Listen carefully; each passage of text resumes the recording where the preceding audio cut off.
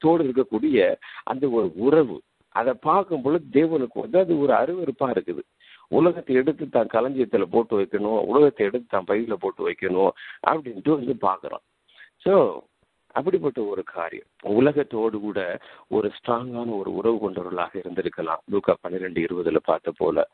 அல்லது இவங்க வந்து வழி தப்பி போன தேவனோட வசனத்தை உண்மையாக படித்து அந்த வழியில நிற்காதபடிக்கு இருந்த அந்த ஒரு கலாத்திய சபையை போல மாறுபட்ட வழிகளில் மாறுபட்ட உபதேசங்களை வந்து கேட்டு உலகி போன ஒரு கன்னிகைகளாக வந்து இருந்திருக்கலாம். அவங்க வந்து அல்லது தேவனுடைய சொல்லுக்கு கீழ்ப்படியாதபடிக்கு அவர் சொல் அவர் வந்து செய்யாத அப்படின்றது வந்து செய்யக்கூடிய ஒரு கூட்டமாக இவங்க இருந்திருக்கலாம். இது இல்லை அப்படின்னாக்க அங்க எரிபொருள் சப்ளை இருக்காது அங்க அக்கினி வந்து அணு- அணைஞ்சு போயிடும். இன்னைக்கு நம்மளோட வாழ்க்கையை சீர்தூக்கி பார்ப்போம். நம்மளோட வாழ்க்கையில இன்னைக்கு உண்மையான ஒரு சரண்டர் இருக்கா ஆவியானவர் இடத்துல. இன்னைக்கு நம்மளோட வாழ்க்கையில முழுமையான ஒரு ஈல்டிங் இருக்கா பரிசுத்தாவனிட பரிசுத்தாவின இடத்திற்கு. நம்மளோட வாழ்க்கை பரிசுத்தாவினுடைய பரிசுத்தாவினவர் நம்பி அவருடைய வழிகாட்டுதலுக்கு ஏங்கி நிற்கிறதா அந்த டிபெண்ட் லைஃப் இருக்கிறதா? இல்லை நம்ம உலகத்தை டிபெண்ட் பண்ணியிருக்கோமா? மணியை டிபெண்ட் பண்ணியிருக்கோமா? நம்மளோட ஸ்ட்ரென்த்தை டிபெண்ட் பண்ணியிருக்கோமா? நம்மளோட வெல்த்தை டிபெண்ட் பண்ணியிருக்கோமா? நம்மளோட பரம்பரைகள் டிபெண்ட் பண்ணியிருக்கோமா? நம்மளோட அப்பா டிபெண்ட் பண்ணியிருக்கோமா இனப்பட ஜந்துக்கள் டிபெண்ட் பண்ணியிருக்கோமா யார் டிபெண்ட் பண்ணியிருக்கோம் நம்மளோட கல்வியை டிபெண்ட் பண்ணியிருக்கிறோமா எது இன்னைக்கு டிபெண்டன்சியாக இருக்கிறது? நம்ம நம்ம சீர்தூக்கி பார்ப்போம். நம்முடைய ஒபிடன்ஸ் எப்படி இருக்குது இன்னைக்கு இந்த ஆண்டவர் இடத்துல எல்லா காரியத்திலும் இன்னைக்கு நம்ம ஆண்டு இடத்துல நம்ம ஒபி பண்றோமா? ஆண்டவர் சொல்ற எல்லா காரியத்துக்கும் எஸ் சொல்றோமா? இன்னைக்கு ஆண்டவர்கிட்ட ஓடி அவருடைய சித்தத்தை நாடி அந்த ஒபீடியன்ஸுக்குள்ளாக நம்ம வந்து ஒப்பு கொடுக்கக்கூடிய அந்த பழக்கம் நம்ம கிட்டத்தில் இருக்குதா? இதெல்லாம் தான் வந்து ஆண்டவர் இன்னைக்கு எதிர்பார்க்கிறார்.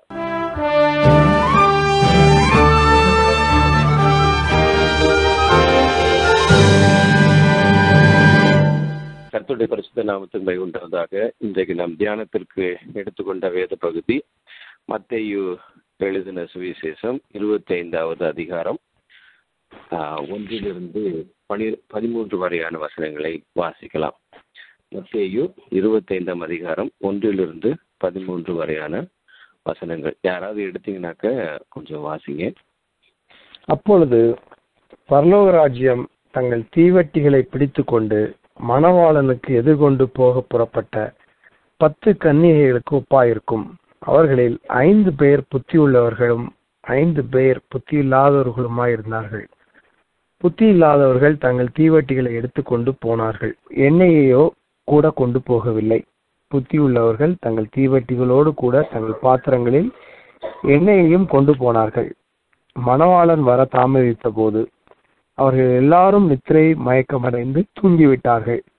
நடு ராத்திரியிலோ இதோ மணவாளன் வருகிறார். அவருக்கு எதிர்கொண்டு போக புறப்படுங்கள் என்கிற சத்தம் உண்டாயிற்று. அப்பொழுது அந்த கன்னிகைகள் எல்லாரும் எழுந்திருந்து தங்கள் தீவட்டிகளை ஆயத்தப்படுத்தினார்கள். புத்தி இல்லாதவர்கள் புத்தி உள்ளவர்களை நோக்கி உங்கள் எண்ணெயில் எங்களுக்கு கொஞ்சம் கொடுங்கள். எங்கள் தீவட்டிகள் அணைந்து போகிறதே என்றார்கள். புத்தி உள்ளவர்கள் பிரதியுத்தரமாக அப்படியல்ல எங்களுக்கும் உங்களுக்கும் போதாமல் இராதபடி நீங்கள் விற்கிறவர்களிடத்திற்கு போய் உங்களுக்காக வாங்கிக் கொள்ளுங்கள் என்றார்கள். அப்படியே அவர்கள் வாங்க போன போது மணவாளன் வந்துவிட்டார். ஆயத்தமாயிருந்தவர்கள் அவர்கள் அவரோடு கூட கல்யாண வீட்டுக்குள் பிரவேசித்தார்கள். கதவும் அடைக்கப்பட்டது. பின்பு மற்ற கன்னிகைகளும் வந்து ஆண்டவரே ஆண்டவரே எங்களுக்கு திறக்க வேண்டும் என்றார்கள். அதற்கு அவர் உங்களை அறியேன் என்று மெய்யாகவே உங்களுக்கு சொல்லுகிறேன் என்றார். மனுஷகுமாரன் வரும் நாளையாவது நாளிகையாவது நீங்கள் அறியாதிருக்கிறபடியால் விழித்திருங்கள். எல்லாரும் பரிசுத்த இந்த பைபிள் ஸ்டடி உங்களுடைய கரத்தில் நாங்கள் ஒப்புக் கொடுக்கிறோம். இந்த வார்த்தைகளை தியானிக்கும் பொழுது ஆண்டவரே நீர் இடைப்பட்டு பேசத்தக்கதாக நாங்கள் செபிக்கிறோம் எங்கள் மத்தியில் நீர் இடைப்படுங்கப்பா. இது உம்முடைய வார்த்தை. நீர் பேசும். ஆண்டவரே அப்பா ஹியூமன் இன்டர்ஃபரன்ஸ் வராதபடிக்கு நீங்க பாதுகாத்துக் கொள்ளுங்க. உங்களுடைய நாமம் இதன் மூலமாக மகிமைப்படுவதாக. எங்கள் ஒவ்வொருவரோட பேசுங்க. இதை கேட்கிற ஒவ்வொருவரோட பேசுங்க கர்த்தாவே. உங்களுடைய நாமத்துக்கு நீர் மகிமை கொண்டு வரோம். எங்களை தாழ்த்தி உங்களோட கரங்கள் ஒப்பு கொடுக்குறோம். இயேசு கிறிஸ்துவ நாமத்தில் வேண்டிக் கொள்கிறோம் எங்கள் ஜீவன் நல்ல பிதாவே. ஆமே ஆமென். ஆமென். வாசிக்க கேட்ட இந்த பத்தை எழுதின சுவிசேஷம் இருபத்தி ஐந்தாவது இருபத்தி ஐந்தாவது அதிகாரத்தில் முதல் பதிமூன்று வசனங்கள் ஒரு அருமையான ஒரு பிரபலமான உவமை ஒன்றை சித்தரிக்கிறது. இயேசு கிறிஸ்து சொன்ன ஒரு அருமையான ஒரு உவமை இது. ஸோ இதில் நீங்கள் பார்த்தீங்கன்னாக்க இதுலேருந்து நிறைய மெசேஜஸ் நம்ம வந்து கேட்டிருப்போம். இது ரொம்ப பிரபலமான ஒரு உவமை. அதாவது கர்த்தராகி இயேசு கிறிஸ்துவின் இரண்டாவது வருகையை குறித்து வெளிப்படுத்துகிற ஒரு உவமை பேசப்படுகிற ஒரு உவமை பத்து கன்னிகள் அப்படின்ற ஒரு உவமை. இதுல இந்த பத்து கன்னிகைகள்ல ஐந்து பேர் வந்து புத்தி உள்ள கன்னிகைகள் ஐந்து பேர் புத்தி இல்லாத கன்னிகைகள். வாசித்ததை போல என்ன செய்ய என்ன நாம் கேட்டோம் அப்படின்னாக்க வந்து இந்த ரெண்டு பேருமே வந்து தீவட்டிகளை வந்து எடுத்துக்கொண்டு போறாங்க. எதுக்காக எடுத்துக்கொண்டு போறாங்க அப்படின்னாக்க மணவாளனுக்கு எதிர்கொண்டு சொல்லுகிறாங்க இவங்க. ஆனா கடைசியில் என்ன நடக்குது அப்படின்னு பாக்குறோம் அப்படின்னாக்க புத்தியுள்ள கன்னிகைகள் தங்களுடைய தீவெட்டிகளுக்கு ஆயில எண்ணெயை வந்து வைத்திருக்கிறாங்க. புத்தி இல்லாத கன்னிகைகளுக்கு வந்து அவங்களுடைய பாத்திரத்துல வந்து எண்ணெய் கொண்டு வரல. எண்ணெய் இல்லை அவங்க இடத்துல. கடன் கேட்குறாங்க அது நடக்கல. திருப்பி எண்ணெய் வாங்க போயிடுறாங்க. அந்த நேரம் பார்த்து வந்து என்ன நடக்குது அப்படின்னாக்கா மணவாளன் வந்து விடுகிறார். வந்து விட்டோடனே வந்து என்ன நடக்கிறது? ஆயத்தமாக இருந்த இந்த பத் பத்தில் அதாவது ஆயத்தமாக இருந்த ஐந்து கன்னிகைகள் மாத்திரம் பத்து கன்னிகைகள்ல ஐந்து கன்னிகைகள் மாத்திரம் இந்த வெட்டிங் ஃபீஸ்டுக்குள்ளால வந்து கடந்து செல்றாங்க. கல்யாண வீட்டுக்குள்ளால வந்து பிரவேசிக்கிறாங்க. அப்பொழுது கதவு கதவு வந்து சாத்தப்பட்டு விடுகிறது. மிச்ச ஐந்து கன்னிகைகள் அவங்க போயிட்டு வந்து ஆயிலாம் வாங்கிட்டு எண்ணெயெல்லாம் வாங்கிட்டு திருப்பி வந்து கதவை தட்டுறாங்க திறக்குன்னு சொல்லிட்டு. அப்போ ஆண்டவர் சொல்றாரு உங்களை எனக்கு தெரியாது.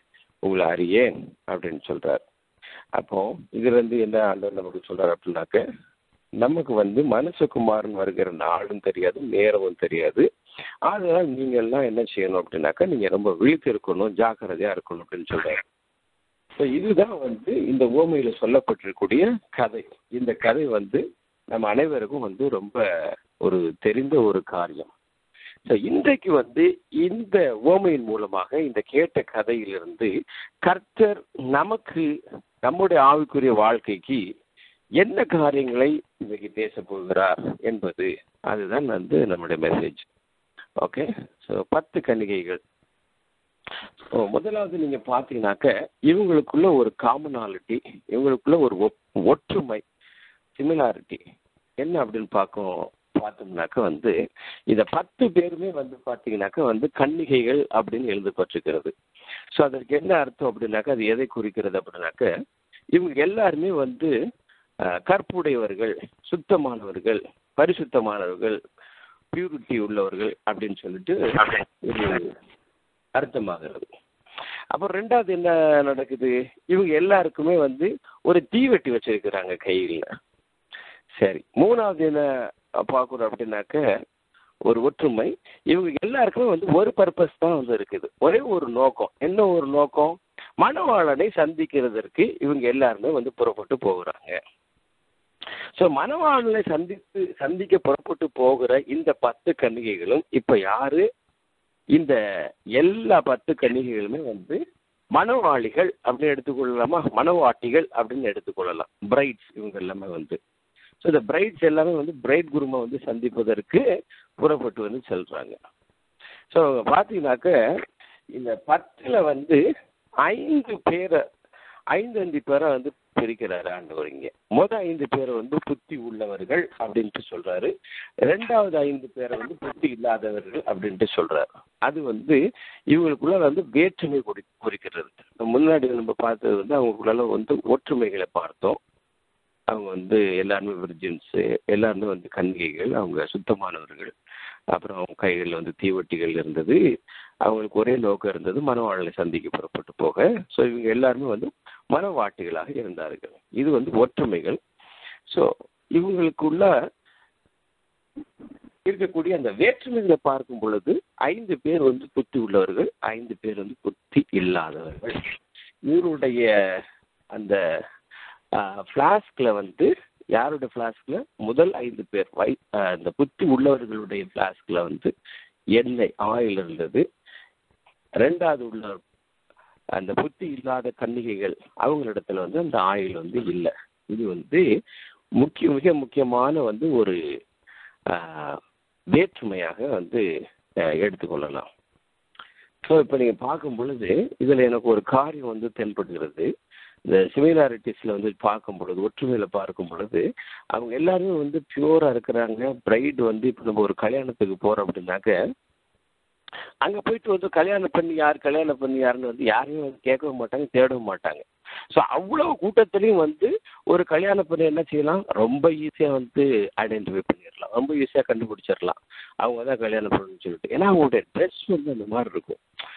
ஸோ எல்லாருக்கும் எல்லாரை காட்டிலும் வந்து கல்யாண பெண் வந்து ரொம்ப வித்தியாசமாக வந்து ட்ரெஸ் பண்ணியிருப்பாங்க. அதனாலேயே வந்து அவங்கள வந்து ரொம்ப ஈஸியாக இனம் கண்டுபிடி அடையாளம் கண்டுபிடிச்சிக்கலாம். இவங்க தான் வந்து மணப்பெண்ணாக இருக்கும் அப்படின்னு சொல்லிட்டு வந்து. ஸோ அப்போ அவங்க வந்து ட்ரெஸ்ஸில் பார்த்தீங்கன்னாக்கா அவ்வளோ ஒரு சுத்தமாக தான் வந்து இருக்கிற மாதிரி வந்து தெரியுது.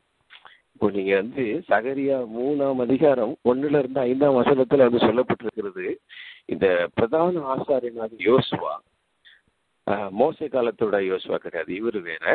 இவர் இந்த பிரதான ஆசாரியனாகிய மோஸ் யோசுவா வந்து தேவனுடைய சமூகத்தில் இருக்கும் பொழுது அவருடைய வஸ்திரங்கள் வந்து பார்த்தீங்கன்னாக்கா அழுக்கு வஸ்திரங்களாக இருந்தது. ஸோ ஒரு வஸ்திரம் வந்து அழுக்கா இருக்கு அப்படின்னாக்கா வந்து அது ஒரு பாவத்தை குறிக்கிறது பரிசுத்தம் இல்லாத ஒரு தன்மையை குறிக்கிறது அப்படின்ட்டு வந்து அர்த்தம். அப்ப அந்த நேரத்தில் என்ன செய்யறாரு வந்து ஈவன் அந்த இடத்துல வந்து பிசாசு வந்து அந்த யோசுவா பிரதான ஆசாரியனை குற்றப்படுத்துகிற விதமாக வந்து அங்க நின்ற போதிலும் வந்து கர்த்தர் வந்து அந்த வஸ்திரங்களை எல்லாம் வந்து யோசுவா விட்டு அகற்றி போட்டு ஒரு நல்ல புதிய வெண்மையான வஸ்திரத்தை வந்து உடுத்துறாரு. புதிய தலைப்பாய்கள்லாம் அப்படி உடுத்துறாரு. ஸோ இப்போ இந்த வஸ்திரத்தை பார்க்கும் பொழுது வந்து என்ன தெரியுது நமக்கு அப்படின்னாக்கா இவங்களுக்கு எல்லாமே வந்து ஒரே மாதிரியான வஸ்திரத்தை தான் போட்டிருக்காங்க. எந்த ஒரு டிஃப்ரென்ஸுமே கிடையாது. ஸோ இதுல இருந்து என்ன தெரியுதுனாக்கா வந்து ஒரு லெவல் ஆஃப் ஒரு ஒரு தூய்மை அவங்கள்ட்ட இருக்குது அப்படின்றது நமக்கு வந்து கண்டுபிடிச்சிருக்கிறோம். ஒரு பிரதான தூ ஆசாரியனுக்கே அந்த மாதிரி வந்து ஒரு பிரச்சனை வந்தது. அதாவது வந்து அவனுடைய அந்த உடையில வந்து அழுக்கு வஸ்து அழுக்கா இருந்தது. அந்த அழுக்கு வஸ்திரத்தை வந்து ஆண்டவர் மாற்றி போடக்கூடிய ஒரு சூழ்நிலை ஏற்பட்டது. அப்படிப்பட்ட ஒரு சூழ்நிலையெல்லாம் இந்த கண்டிகைகளுக்கு வந்து வரல. இவங்க எல்லாருமே வந்து அப்படி ஒரு அப்படிப்பட்ட ஒரு அழுக்கு வஸ்திரத்தை அஞ்சு புத்தி இல்லாத கன்னிகள் அணிந்திருந்தார்கள். அப்படிலாம் வந்து நமக்கு இல்லை. எல்லாரும் வந்து ஒரே மாதிரி தான் வந்து இருக்கிறாங்க. எல்லாம் வந்து சுத்தமாக தான் இருக்கிறாங்க போல நமக்கு வந்து ஒரு தெரியுது. ஸோ ஆனால் ஏன் வந்து ஆண்டவர் இந்த இடத்துல வந்து புத்தி இல்லாத சில கன்னிகைகளை ஐந்து பேரை வந்து குறிப்பிடுறாரு அப்படின்றத நம்ம வந்து சில பார்க்கணும். ஏன் அப்படின்னு சொல்லிட்டு வந்து அவங்க புத்தி இல்லாததுனால வந்து என்ன செய்யறாங்க அப்படின்னாக்க அவங்களுடைய தீவட்டி வந்து தொடர்ந்து எரிகிறதற்கு உண்டான அந்த எரிபொருளாகிய அந்த எண்ணெயை அவர்கள் எடுத்து கொண்டு வரவில்லை. அதுதான் இந்த ஓமையில வந்து ரொம்ப முக்கியமான ஒரு பாயிண்டா வந்து இருக்குது. ஸோ இப்போ வேதத்துல வந்து புத்தி இல்லாதவர்கள் புத்தி இல்லாதவர்கள் மூடன் ஃபூலிஸ் அப்புறம் ஃபூல் அப்படின்னு சொல்லிட்டு வந்து நிறைய இடத்துல வந்து பார்க்கலாம். ஈவன் நீங்க இப்போ போயிட்டு நீங்க ப்ராப்ஸை வந்து எடுத்து பார்த்தீங்கன்னாக்க அதுல நிறைய வந்து ஞானத்தை பற்றியும் அப்புறம் வந்து புத்தி இல்லாத காரியங்களை பற்றி நிறைய வந்து ஆண்டவர் வந்து பேசி வச்சிருப்பாரு காலமொழி மூலமாக. ஸோ அதில் நான் இப்போ ஒரு முழு வேதத்தில் பார்க்கும் பொழுது நிறைய காரியங்கள் அந்த மாதிரி இருக்கும். ஆனால் ஒரு ரெண்டு மூணு காரியத்தை மாத்திரம் வந்து நான் வந்து இந்த இடத்துல வந்து கோடிட்டு காண்பிக்க வந்து விரும்புகிறேன். முதலாவது ஒரு காரியம் என்ன அப்படின்னாக்க லூக்கா எழுதின சுவிசேஷம் பன்னிரெண்டாவது அதிகாரம் இருபதாவது வசனம் இப்படியாக சொல்லுகிறது. அங்கே ஒரு ஐஸ்வர்யவனை பற்றி பார்க்கிறோம். என்ன செய்கிறான் எல்லா இடத்துலயும் வந்து அவனுடைய வயல்ல இருக்கக்கூடிய தானியங்கள் அதெல்லாம் விளைஞ்சு போக போக இன்னும் நிறைய விளையும் பொழுது இந்த களஞ்சியத்தெல்லாம் இடிச்சு பெரிய களஞ்சியமா கட்டி எல்லாத்தையும் சேர்த்து வைப்பேன் ஆத்மாவே நீ இழைப்பாரி புசித்து குடித்து இன்பமயமாக இரு அப்படின்னு சொல்லிட்டு வந்து அவன் சொல்றான். அப்ப அவனை பார்த்து வந்து ஆண்டவர் சொல்ற வாக்கியம் தான் இந்த வாக்கியம். என்ன சொல்றாரு அப்படின்னாக்கா வந்து மதிகேடனே அப்படின்ட்டு வந்து சொல்றாரு அந்த இடத்துல வந்து. அப்படின்னா நம்ம முட்டாளே அப்படின்னு அடுத்த புத்தி இல்லாதவனே அப்படின்ட்டு வந்து அர்த்தம். இந்த புத்தி இல்லாத கன்னிகைகளை குறிப்பிடுகிறது போல இங்க வந்து இப்படி குறி குறிப்பிடுகிறார் ஆண்டவர் இங்க வந்து. இன்னைக்கு நைட்டு உன் ஆத்மா வந்து எடுத்துக்கொள்ளப்பட்டுச்சுனாக்க நீ சேர்த்து வச்சிருக்க எல்லாம் வந்து யாருடையதாகும் அப்படின்னு சொல்லிட்டு வந்து ஆண்டவர் அங்க கேட்பார். ஸோ அப்போ இந்த இடத்துல வந்து பார்த்தீங்கன்னாக்க என்ன அப்படின்னாக்க இவனை புத்தி ஏன் இவனை வந்து புத்தி இல்லாதவனே அப்படின்ட்டு அழைக்கிறார் அப்படின்னாக்க இவன்கிட்ட வந்து அப்படியே அந்த ஒரு உலகத்தின் கட்டு உலக உலகத்தோடு கூட ஒரு ஒன்றித்து போகக்கூடிய ஒரு காரியம். அந்த உலகத்தை ஆதாயப்படுத்திக் கொள்ளணும் அப்படின்னு சொல்லிட்டு அவன் வந்து எதிர்பார்க்குறான். தனக்கு தேவையானது எல்லாவற்றையும் சேர்த்து வைத்துக் கொள்ளணும் அப்படின்னு சொல்லிட்டு. ஆண்டு ஏற்கனவே சொல்லியிருக்கிறார் பூமியில் உங்களுக்கு ஒன்றத்தை சேர்த்து வைக்காதீங்கள். இங்கே வந்து இருக்கக்கூடிய பூச்சி இதெல்லாம் வந்து எல்லாம் கெடுத்து போட்டுரும். திருடர்கள் திருடி விடுவாங்க அப்படின்னு சொல்லிட்டு. பரலோகத்தில் வந்து உங்களுக்கு பொக்கிஷங்களை சேர்த்து வைங்கள் அப்படின்னு சொல்லிட்டு சொல்ல ஆண்டவர் சொல்றாரு. இன்னைக்கு நிறைய வந்து நம்ம பார்க்கும் பொழுது எத்தனையோ கோடிக்கணக்கான சொத்துக்களை சேர்த்து வைத்த அரசியல்வாதிகள். அவங்க இருந்த இடமே தெரியல. அதாவது வந்து நமக்கு சேர்த்து வைக்கலாம். நம்மளோட பிள்ளைகளுக்கு சேர்த்து வைக்கலாம். தப்பு இல்லை. ஆண்டவர் சொல்ற எறும்பை போய் பார்த்து அதனுடைய வழியை கற்றுக்கொள் சோம்பேறியா இருக்காத சுறுசுறுப்பாக இரு போய் சேர்த்து வைக்க அப்படிலாம் சொல்றாரு. அது உண்மைதான் அது வந்து. ஆனா பரம்பரைக்கும் ப உனக்கு கண்ணுக்கே தெரியாத பல ஜா பல நூறு ஜென்ரேஷன்ஸுக்கு வந்து சொத்து சேர்த்து அடுத்தவனுடைய சொத்தை அடிச்சு ஊர் சொத்தை உலையில போடுறதுக்கு வந்து ஆண்டவர் வந்து அனுமதி கொடுக்கல அங்க. ஓகே ஸோ அதுக்கு டிஃப்ரென்ஸ் இருக்குது. அப்போது அப்போ அப்படிப்பட்ட சொத்துக்களை சேர்த்து வச்சவங்களாம் இன்னைக்கு எங்கன்னு தெரியல. ஆனா அவங்கள வந்து உலக உலகத்துல இருந்தவர்கள் தேவன் அறியாத ஜனங்கள். ஓகேயா ஆனா அவங்கள வந்து மிக் பண்ற மாதிரியே தேவனை அறிந்தவங்க இன்னைக்கு அப்படிதான் செய்யறாங்க அவங்க என்ன செய்யறாங்களோ அதே மாதிரி தான் செய்யறாங்க அந்த உலகத்தை வந்து அப்படியே நம்முடைய பாக்கெட்டுக்குள்ளால வைக்கணுன்ற மாதிரி தான் வைக்கிறாங்க எனக்கு வந்து. ஸோ அப்படிப்பட்டவர்களை பார்த்து இன்றைக்கு ஆண்டவர் மதிகடனை அப்படின்ட்டு சொல்றாரு. உலகத்தோடு இருக்கக்கூடிய அந்த ஒரு உறவு அதை பார்க்கும் பொழுது தேவனுக்கு வந்து அது ஒரு அருவறுப்பா இருக்குது. உலகத்தை எடுத்து தான் களஞ்சியத்துல போட்டு வைக்கணும் உலகத்தை எடுத்து தான் பையில போட்டு வைக்கணும் அப்படின்ட்டு வந்து பாக்குறோம் ஸோ அப்படிப்பட்ட ஒரு காரியம். அப்போ ஒருவேளை இந்த கன்னிகைகளுக்கு நான் நினைக்கிறேன் புத்தி இல்லாதவர்கள் என்று அழைக்கப்படும் பொழுது இந்த ஐந்து கன்னிகைகளை ஒருவேளை இவங்களுக்கு அப்படிப்பட்டதான ஒரு தொடர்பு இருந்திருக்கலாம். அடுத்து பார்க்கும் பொழுது வந்து ஆண்டவர் இன்னொரு ஒரு ஒரு பட்டணத்தை குறித்து சொல்றாரு. அதில் உள்ள சபைகளை குறித்து பேசுறாரு. கலாத்தியருக்கு எழுதின அந்த நிருபத்தில் பவுல் இப்படியாக சொல்றாரு. கலாத்தியர் மூன்றாம் அதிகாரம் ஒன்றாவது வசனத்தில் இப்படி எழுதப்பட்டிருக்கிறது. இப்படி அப்படின்னாக்கா வந்து புத்தி இல்லாத கலாத்தியரே அப்படின்னு சொல்லிட்டு வந்து எழுதப்பட்டிருக்கிறது.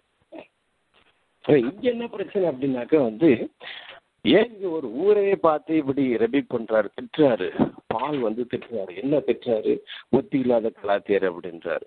இவங்களுக்கு பிரசங்கித்த வந்து ஒரு பிரசங்கத்தை வந்து இவங்க நல்ல நச்சதிகள் நிறைய கேட்டுக்கிறாங்க பால்ட்ட இருந்து அவருடைய நிறைய ஊழியக்காரங்கிட்ட இருந்து. ஆனா திடீர் கொஞ்ச காலத்துல என்ன இருக்கு நீங்க முதலாவது அதிகாரத்தை எடுத்து வாசித்து பார்த்தீங்கன்னாக்க தெரியும். அதுல இந்த கலாத்திய சபை பார்த்து பார்க்கும் பொழுது ஒரு விதமான ராங் டாக்டரின்ஸில் வந்து போயிடுறாங்க. வார்த்தைகள் வந்து சரியில்லை. சரியான வார்த்தைகள் வந்து அவங்களால நிக்க முடியல. அப்படி இப்படின்ட்டு வந்து அப்படியே போயிடுறாங்க அவங்க வந்து. ஏன் அப்படின்னாக்க சரியான வேத அறிவு வந்து இல்லை. இன்னைக்கு நிறைய கிறிஸ்தவர்களுக்கும் அப்படித்தான். பார்த்தீங்கன்னாக்கா அவங்க வேதம் படிக்க மாட்டாங்க. எவனாச்சும் ஏதாச்சும் வந்து சொன்னாக்கும் வந்து உடனே வந்து நம்பிடுவாங்க. வேதத்தை வந்து படிக்கிறதுக்கு அவங்களுக்கு வந்து அந்த அக்கறை இருக்காது நேரம் இருக்காது. வேதத்தை ஒழுங்கா வந்து படிச்சா தானே அவங்களுக்கு வந்து தெரியும். இன்னொருத்தர் சொல்றது வந்து சரியா தப்பா அப்படின்னு வந்து தெரியும். இல்லை அப்படின்னாக்க எவனாச்சும் வந்து ஏதாச்சும் ஒன்று சொல்லும் பொழுது என்ன ஆகும்? அது வந்து இவங்களுக்குள்ளான வந்து புகுந்துக்கும். அது பெரிய பிரச்சனையாயிரும். அப்ப அப்படி வந்து தேவனுடைய வசனத்துக்கு முக்கியத்துவம் கொடுக்காதபடிக்கு தேவனுடைய வசனத்துக்கு முக்கியத்துவம் கொடுத்துடாதபடிக்கு அதை தியானிக்காதபடிக்கு அந்த வசனங்களுக்கு வந்து காத்திருந்து ஜபிக்காதபடிக்கு இருக்கிறவர்களை பார்த்து ஆண்டவர் சொல்லக்கூடியதான ஒரு காரியம் புத்தி இல்லாதவர்களே அப்படின்னு சொல்றார்.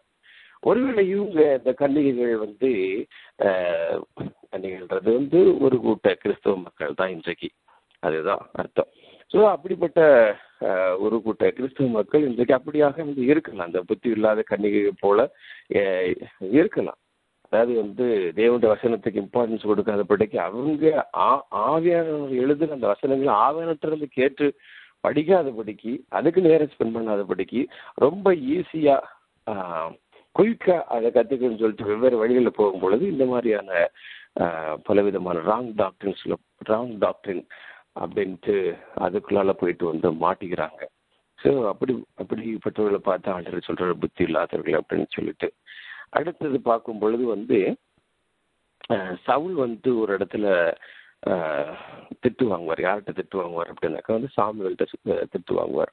மதிகேடா இந்த காரியத்தை செஞ்சு அப்படின்னு சொல்லிட்டு. ஒன்று சாமுவேல் பதிமூணு பதிமூணுல இது இருக்குது. எடுத்து வாசித்து பாருங்க. அப்போ இவர் போயிட்டு வந்து சர்வாங்க த தகன பலியும் சமாதான பலியும் செலுத்துவார். பலிஸ்தீருடைய அந்த பாளையங்கள்லாம் வந்து இறங்கியிருக்கும் பொழுது பயந்துட்டு வந்து அப்படி செ- செலுத்துவார். கில்காலில். இவர் போயிட்டு சாமிகள் வர்றதுக்கு லேட் ஆகும்.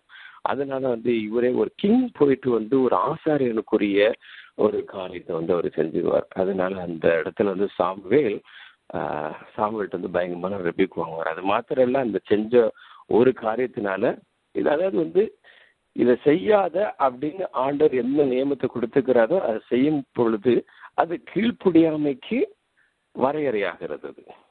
ஸோ ஆண்டவர் செய்யாத அப்படின்றத செய்யும் பொழுது யாராக இருந்தாலும் சவுலாக இருந்தாலும் சரி இல்லை இன்னைக்கு நம்ம கிறிஸ்தவ மக்களாக இருந்தாலும் சரி யாராக இருந்தாலும் அதை நம்ம செய்யும் பொழுது அது கீழ்ப்படியாமையின் காரியமாக இருக்கிறது. அதுக்குள்ள அந்த கான்சிக்வன்சஸ் வந்து அனுபவிக்க வேண்டிய ஒரு சூழ்நிலை வந்து விடுகிறது. அங்கே சவுல் வந்து இது நிமித்தம் வந்து என்ன பண்றாரு? ஒரு ஆசனம் செய்ய வேண்டிய வேலையை வந்து ஒரு கிங் ஒரு அரசன் செய்தார். ஆண்டவர் செய்ய செய்யக்கூடாது ஒன்று அவர் செஞ்சுட்டார் அன்னைக்கு. செஞ்சதுனால தன்னுடைய ராஜ்யபாரத்தை அவர் வந்து இழக்கும்படியாக நேரிட்டது. ஸோ இப்படி இப்படிப்பட்ட சில காரியங்கள் வந்து இருக்கிறது. அப்புறம் நம்ம பார்க்கும் பொழுது இந்த இந்த மாதிரி மதிகேடு புத்தி இல்லாத காரியங்கள் அப்படின்ட்டு இருக்கு. ஸோ ஒருவேளை இந்த கன்னிகைகள் உலகத்தோடு கூட ஒரு ஸ்ட்ராங்கான ஒரு உறவு கொண்டவர்களாக இருந்திருக்கலாம். லூக்கா பன்னிரெண்டு இருபதுல பார்த்த போல. அல்லது இவங்க வந்து வழி தப்பி போன தேவனோட வசனத்தை உண்மையாக படித்து அந்த வழியில் நிற்காதபடிக்கு இருந்த அந்த ஒரு கலாத்திய சபையை போல மாறுபட்ட வழிகளில் மாறுபட்ட உபதேசங்களை வந்து கேட்டு குழம்பி போன ஒரு கன்னிகைகளாக வந்து இருந்திருக்கலாம். அவங்க வந்து அல்லது தேவனுடைய சொல்லுக்கு கீழ்ப்படியாதபடிக்கு அவர் சொல் அவர் வந்து செய்யாத அப்படின்றது வந்து செய்யக்கூடிய ஒரு கூட்டமாக இவங்க இருந்திருக்கலாம். அடுத்து வந்து பார்க்கும் பொழுது என்ன நடக்குது அப்படின்னாக்க இந்த செலெக்ஷன் ஆஃப் பிரைட் ஆண்டவர் எப்படி வந்து இந்த மனவாட்டியை வந்து செலக்ட் பண்றாரு அப்படின்னு சொல்லிட்டு பார்க்குறோம். எப்படி பார்க்குறோம் அப்படின்னாக்க வந்து இப்போ இந்த இடத்துல வந்து ஒரு தாமதம் அப்படின்ற ஒரு ஃபேக்டரை வந்து ஆண்டவர் வந்து யூஸ் பண்ணுறாரு ஸோ இந்த பத்து கணிகைகளில் வந்து கலந்து இருக்கிறாங்க. பத்தில் அஞ் பத்தில் வந்து அஞ்சு வந்து புத்தி உள்ளது அஞ்சு வந்து புத்தி இல்லாதது. இந்த ரெண்டை வந்து பிரிக்கிறதுக்கு ஆண்டவர் வந்து யூஸ் பண்ணக்கூடிய ஒரு ஆயுதம் என்ன அப்படின்னாக்கா வந்து தாமதம். இன்றைக்கு பாருங்க வந்து ஆண்டவர் வந்து வருகை வந்து தாமதம் ஆயிட்டு இருக்குது. ஸோ இந்த தாமதம் கூட வந்து ஒரு விதமான ஒரு ஃபேக்டராக இருக்கலாம். இன்னைக்கு வந்து உண்மையான மனவாட்டிகளை ஆண்டவர் தேர்ந்தெடுப்பதற்கு இந்த தாமதம் எனக்கூடிய இந்த ஃபேக்டரை வந்து ஆண்டவர் வந்து பயன்படுத்தலாம். இன்னைக்கு நாம் வந்து ரெண்டாயிரத்தி பதினெட்டு பத்தொன்பதாம் வருடத்தில் இருக்கோம் இந்த ரெண்டாயிரத்தி பதினெட்டு வருடங்களும் நாம் வந்து என்ன கேள்விப்பட்டுக்கிட்டு இருக்கிறோம்? ரெண்டாயிரத்தி பன்னெண்டு வருடங்களாக எதை பரிச்சு பண்ணிக்கிட்டு இருக்காங்க அப்படின்னாக்கா கத்தராக இயேசு கிறிஸ்து எப்படி வரமேறி சென்றாரோ அதே போல் வந்து வரப்போகிறார் அப்படின்னு சொல்லிட்டு கேள்விப்பட்டிருக்கிறோம். கேள்விப்பட்டு இருக்கிறோம். ஆனால் வந்து இன்னும் ஆண்டவர் வந்து வரல. ஸோ ஆனால் இந்த தாமதம் இந்த தாமதம் வந்து ச- தாமதம் வந்து எதுக்காக ஆண்டவர் பயன்படுத்துகிறார் அப்படின்னாக்க இன்றைக்கு கலந்து கிடக்கக்கூடிய இந்த கிறிஸ்தவ ஜனத்தை வந்து ஆண்டவர் அதுல இருந்து தனக்குண்டான அந்த சரியான மனவாட்டியை பிரித்தெடுக்கத்தக்கதான ஒரு ஆயுதமாக பயன்படுத்துகிறார் என்றுதான் அதுக்கு அர்த்தம் உண்டாகிறது. அடுத்து பார்க்கும் பொழுது இவங்க வந்து தூங்கிடுறாங்க. மத் மற்ற இருபத்தஞ்சு அஞ்சுல பார்க்கும் பொழுது மனவான் வர தாமதித்த பொழுது எல்லாரும் நித்தர் மயக்கம் நித்தர் மயக்கம் அடைந்து தூங்கி விட்டார்கள் அப்படின்றது. இப்போ இப்போ இந்த தாமதத்தினால் என்ன நடக்குது அப்படின்னாக்க இங்க ஒரு பிரச்சனை வந்து எல்லாத்துக்கும் வந்து நல்லா தூக்க மயக்கம் வந்து எல்லாம் தூங்கிடுறாங்க. மற்ற இருபத்தாறு நாற்பது நம்ம பார்க்குறோம் ஆண்டவர் வந்து பே பேதுருட்ட சொல்லுவார் என்ன நீ உங்க வந்து ஒரு உங்களால் ஒரு ஒரு மணி நேரமாவது விழுத்திருந்து ஜெபம் பண்ணக்கூடாதா? அப்படின்ட்டு ஆண்டவர் வந்து சொல்லுவார். அப்புறம் மற்ற ஒரு இருபத்தாறு நாற்பத்தொன்னுல பார்த்தீங்கன்னாக்க நீங்கள் சோதனைக்கு உட்படாதபடிக்கு விழுத்திருந்து ஜெபம் பண்ணுங்கள். மாம்சமும் பலவீனம் உள்ளது. ஆனால் ஆவி உற்சாகம் உள்ளது அப்படின்ட்டு வந்து ஆண்டவர் வந்து சொல்லுவார். ஸோ இப்போ நீங்கள் பார்க்கும் பொழுது இந்த பத்து கன்னிகைகளுக்குமே வந்து இந்த ஸ்லீப் வந்து வந்து வருது. ஸோ இதில் அஞ்சு பேர்த்துக்கு தான் வந்தது அஞ்சு பேர்த்துக்கு வரலன்னா கணக்கு கிடையாது. எல்லாத்துக்குமே வருது. அப்போ அது இதை குறிக்கிறது அப்படின்னாக்க இவங்க எல்லாத்துக்குமே வந்து ஒரு காமனாக ஒரே விதத்தில் தான் எல்லா விதமான டெம்டேஷன் வீக்னஸ் சரீரத்தில் உபத்திரவங்கள் இதெல்லாம் வந்து கடந்து வருது. ஸோ இந்த நித்திர மயக்கன்றது வந்து ஜென்ரலாக இந்த உலகத்தில் எல்லா கிறிஸ்தவர்களுக்கும் ஏற்படக்கூடிய ஒரு விதமான பாடுகள் தான். டெம்டேஷன் இது எல்லாத்துக்குமே வந்து ஆண்டவர் வந்து அனுமதிக்கிறார். அது நல்ல கன்னிகைகளாக இருந்தாலும் சரி அல்லது வந்து புத்தி இல்லாத கன்னிகைகளாக இருந்தாலும் சரி இது எல்லாத்துக்குமே வந்து ஆண்டவர் வந்து அதை அனுமதிக்கிறார். ஸோ கடைசியில் வந்து நான் ஆறாவது அதிகாரத்தில் பார்க்குறோம். அவருக்கு எது கொண்டு போக புறப்படுகிறங்கிற ஒரு சத்தம் உண்டாகுது. அப்போ எல்லாம் என்ன பண்ணுறாங்க வந்து அந்த கண்ணீர் ஏழாம் வசனத்தில் இருக்குது. எல்லாம் எந்திரிச்சு வந்து தட்டாப்பிட்டாங்க எந்திரிக்காங்க எந்திரிச்சு உடனே என்ன பண்ணுறாங்க தன்னுடைய தீவட்டிகளை ஆயத்தப்படுத்தினார்கள். கொஞ்சம் நீங்கள் இந்த இடத்துல சிந்திக்கணும். ஒரு மணப்பெண் ஏன்னா அந்த இடத்துல வந்து கண்ணகின்றது வந்து நான் சொன்னேன் வந்து மணப்பெண். எல்லாமே பிரைட்ஸ் அது பார்க்கும் பொழுது மணப்பெண் வந்து எண்ணத்துல வந்து அவ கான்சென்ட்ரேட்டடா இருப்பா யோசனை பண்ணி பாருங்க. ஒரு மணப்பெண் எப்பவுமே தன்னுடைய ட்ரெஸ்லையும் தன்னுடைய முக அலங்காரத்திலையும் அப்படிதான் இருப்பான் அடிக்கடி கண்ணாடி பார்த்துக்கிட்டு தன்னுடைய இது அதான் இது அவங்ககிட்ட குறைஞ்சிருக்கா இதாக இருக்கா அப்படின்னு சொல்லிட்டு வந்து எல்லாத்தையும் வந்து இழுத்து சரி பண்ணி அப்படித்தான் வந்து அவங்களுக்கு வந்து எப்போவுமே அந்த ஒரு மைண்ட் செட்டப் இருக்கும் நீங்கள் பார்த்துருந்தீங்கனாக்க எல்லா மனப்பெண்ணுக்கும் பார்த்துருந்தீங்கனாக்க அதில் தான் கான்சன்ட்ரேட் பண்ணுவாங்க. ஆனால் இங்கே ஆண்டவர் சொல்லப்பட்டிருக்கக்கூடியதான ஆண்டவர் சொல்லுகிற ஒரு காரியம் என்ன அப்படின்னாக்க இவங்க எந்திரிச்ச உடனே என்ன போய் பண்ணுறாங்கனாக்கா வந்து அவங்க எதையும் ட்ரெஸ்லாம் சரி பண்ணலை அவங்க மேக்கப்லாம் வந்து சரி பண்ணல ஆனால் என்ன பண்ணுறாங்க அப்படின்னாக்க அவங்க போய் வந்து தீவட்டிகளை அங்க ஆயத்தப்படுத்துறாங்க. ஸோ தீவட்டிகளை ஆயத்தப்படுத்துறாங்க. தீவட்டிகளை அங்க ஆயத்தப்படுத்தும் பொழுதுதான் அங்க ஒரு உண்மையான நிலவரம் தெரியுது. அங்க உண்மையான ஒரு நிலவரம் என்ன அப்படின்னாக்க இப்போ இந்த ஐந்து கன்னிகைகள்கிட்ட புத்தி இல்லாத கன்னிகைகள்கிட்ட என்ன வரல? அங்கு ஆயுள் இல்லை விளக்குகள் அணைந்து போகிறதான ஒரு சூழ்நிலை அணைந்து கொண்டு இருக்கிறது இப்போ ஆயுள் தேவை. இப்போ இவங்க என்ன பண்றாங்க? புத்தி உள்ள கன்னிகைகள்கிட்ட அவங்களுக்கு தெரியுது ஏற்கனவே அவங்க ஆயுள நிறைய வச்சிருக்கிறாங்கன்னு சொல்லிட்டு. அதில் வந்து கொஞ்சம் கடன் வாங்குவோம்னு சொல்லிட்டு அவங்க வந்து வாங்குறாங்க. ஸோ வாங்குறது கேட்கும் பொழுது வந்து அங்க என்ன நடக்குது? கடன் ஒரு லெண்டிங் பிஸ்னஸ் வந்து ஒரு நடக்குது. அதாவது இன்னைக்கு நம்ம வந்து ஒவ்வொருத்தருக்கு ஒருத்தர் ஜெபம் பண்ணிக்கிறோம். ஜெபம் பண்ணிக்கிறோம் அப்படின்னாக்கா வந்து நானும் ஜெபம் பண்றேன். இப்போ அதே போல என்னோட தேவைகளை சொல்லும் பொழுது மற்றவர்கள் வந்து ஜெபம் பண்றாங்க. ஆனா சில ஆட்கள் வந்து நீங்க கிறிஸ்துவ கிறிஸ்தவத்துல தான் சொல்லிட்டு இருக்கல வெளியெல்லாம் எங்கேயுமே பேசல. கிறிஸ்தவ மக்களை பார்த்தீங்கன்னாக்கா நான் சமீபத்தில் ஒருத்தர்கிட்ட பேசும் பொழுது நான் சொன்னேன் அவர்கிட்ட வந்து பேசின பிற்பாடு பேசிட்டு அவருக்கு சில ஆலோசனைகளை கொடுத்தேன். அதாவது நீங்கள் இந்த மாதிரியான காரியங்களுக்கெல்லாம் பார்த்தீங்கன்னா கண்டிப்பாக உட்காந்து நீங்கள் ஜெபம் பண்ணணும். நீங்கள் ஒரு கொஞ்சம் பாரப்பட்டு இப்படிலாம் எடுத்து ஜெபம் பண்ணா தான் அதெல்லாம் சரியாகும். அப்படி சொல்லும் பொழுது வந்து சரி சரி அவர் கேட்டு என்ன தெரியுமா சொன்னார் அவர் வந்து? நான் நாளைக்கு வந்து சர்ச்சுக்கு போகிறேன் சர்ச்சில் போயிட்டு என் பாசத்து இதெல்லாம் சொல்லி நான் ப்ரேயர் பண்ணிக்கிட்டு வந்துடுறேன். அவ்வளோதான் காட்டினார் அவர்.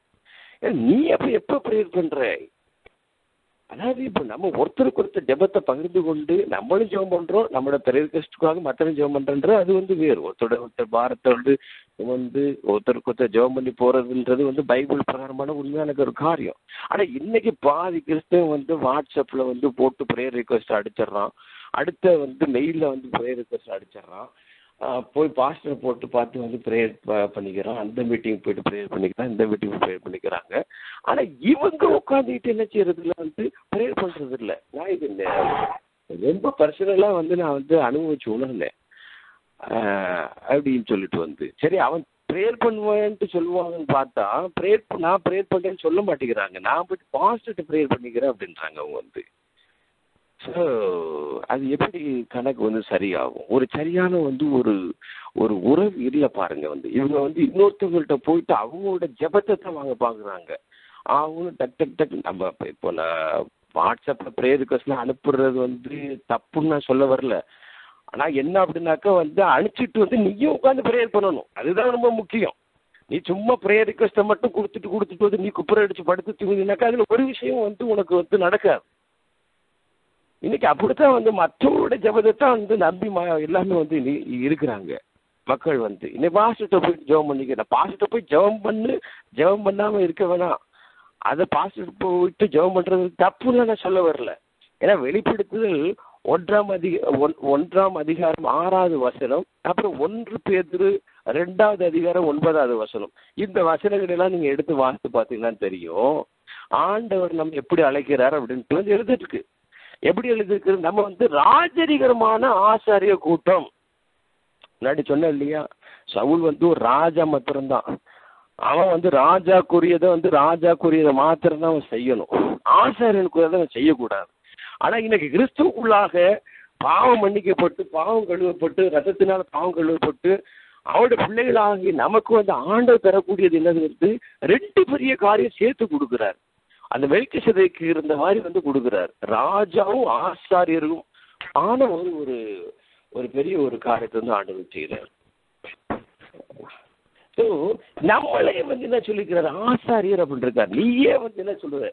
உனக்கும் வந்து அந்த ஒரு ஒரு ஆசாரியத்துவம் இருக்குது. ஒரு பேஸ்டரல் ஒரு கெப்பாசிட்டி இருக்குது அப்படின்ட்டு வந்து ஆண்டவர் வந்து சொல்றார். ஸோ நம்ம என்ன செய்யணும்? இன்னைக்கு நம்ம அதெல்லாம் என்ன பண்ணிடுறோம்? மறந்து போயிடுறோம். துடுக்குன உடனே வந்து நான் போயிட்டு வந்து பாஸ்டர்கிட்ட போய் நிற்கணும்ட்டு வந்து ஓடுறோம். துடுக்குன உடனே வந்து ஜெபம் ஜெபம் ஜெப ரெக்வஸ்ட் வந்து அனுப்புகிறோம் ஆனால் நம்ம ஜெபம் பண்ணுறது இல்லை. நம்மன்றது கட்ட வந்து ஒரு கூட்ட ஜனங்கள் வந்து கிறிஸ்தவத்தில் கலந்து இருக்கிறாங்க. அந்த கலந்து இருக்கக்கூடிய ஜனங்களை பேசுகிறேன் நான் எல்லாத்துக்கும் இது வந்து அப்ளிகபிள் ஆகாது. ஸோ யாராகலும் இன்னைக்கு அப்படி ஒருவேளை சும்மா வந்து அந்த ப்ரேயர் வந்து அடுத்தவங்க மட்டும் பண்ணிட்டு இல்லை அவங்கள்ட்ட போயிட்டு கடன் வாங்குறது மட்டும் வந்து கடன் வாங்கி ப்ரேயர் பண்ணுற மாதிரி வந்து ப்ரே பண்ணுற மாத்திரம் வந்து நம்மளோட வாழ்க்கை வந்து வச்சுட்டு இருக்கக்கூடாது அந்த லெண்டிங் பிஸ்னஸ் வந்து ஒர்க் அவுட் ஆகாது. ஆணுடைய ச வருகைக்கு. இந்த புத்தி உள்ள கண்ணுங்க என்ன பார்த்து சொல்கிறாங்க உங்களுக்கும் பத்தாது எனக்கும் பத்தாது. நீங்கள் போயிட்டு வந்து எங்கடாச்சும் வந்து போயிட்டு வந்து உங்கள்கிட்ட விற்கிறவங்கள்ட்ட வந்து போய் வாங்கிட்டு வாங்க. அந்த நடுராத்திரியில் டுவெண்ட்டி ஃபோர் ஹவர்ஸ் வாழ்கிறீங்கன்னா டுவெண்ட்டி ஃபோர் ஹவர்ஸ் வாழ் மாட்டேன் எனக்கு தெரியாது. அல்லது முழு இரவு ஜெபமாக போயிட்டு வாங்க. நீங்க இப்படியே ப்ரேயர் பண்ணி ப்ரேயர் பண்ணி பழக்கப்பட்டுட்டீங்க போயிட்டு அவர்கிட்ட போயிட்டு ஏதாச்சும் போய் வாங்கிட்டு வாங்க அப்புறம் போய் பார்த்துக்கலாம் அப்படின்றாங்க. அப்படிதான் நடக்குது கதை இன்னைக்கு வந்து. இவங்க மக்கள் வந்து ப்ரேயர் பண்ணுவோம் ப்ரேயர் பண்ணுறதுக்கு வந்து வரணும். எப்போ எப்படி அந்த ப்ரேயர் வந்து வரும்? அந்த ஒரு மனுஷன்ட்ட பேசிட்டு இருக்கும் பொழுது வந்து அப்போ எதுக்கு அந்த இவர்கிட்ட ஐடியால என்ன பாஸ்டர் ஜெபம் பண்ணாருனாக்க எனக்கு நல்லா இருந்துன்னு தான் நினைச்சிட்டு இருக்கிறாரு.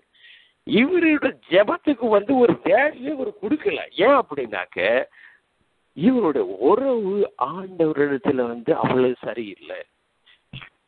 தன்னுடைய உறவு ஆண்ட இடத்துல சரி இருக்கும் பொழுது அந்த கம்யூனிகேஷன் சரி இருக்கும் பொழுது நமக்கு தெரியும் நம்முடைய ஜெபம் ஆண்டவர் இடத்துல போகுதா ஆண்ட இடத்துல போகாம இருக்குதா அப்படின்றது தெரியும். பிரே சப்போர்ட் வந்து கேட்கறதுல தப்பு இல்லை பிரே சப்போர்ட் நாடுறது தப்பு இல்லை பாசத்தை போய் ஜெபம் பண்றது தப்பு இல்லை ஆனா அது மாத்திரமே வந்து செய்யக்கூடாதுன்னு சொல்றதான் நான் சொல்லிட்டு இருக்கேன். அது மாத்திரம்தான் அது மாத்திரமே செய்யக்கூடாது. ஸோ நம்மளுடைய பங்கு என்ன என்பதை வந்து உணர்ந்து நம்ம வந்து செயல்படணும். அந்த புத்தி இல்லாத கன்னிகைகள் அதை அவங்க செய்யவில்லை அன்றைக்கு வந்து. அவங்களுக்கு இப்படியே கடை வாங்கி கடை வாங்கி பழக்கப்பட்ட ஆட்கள் போல இருக்குது.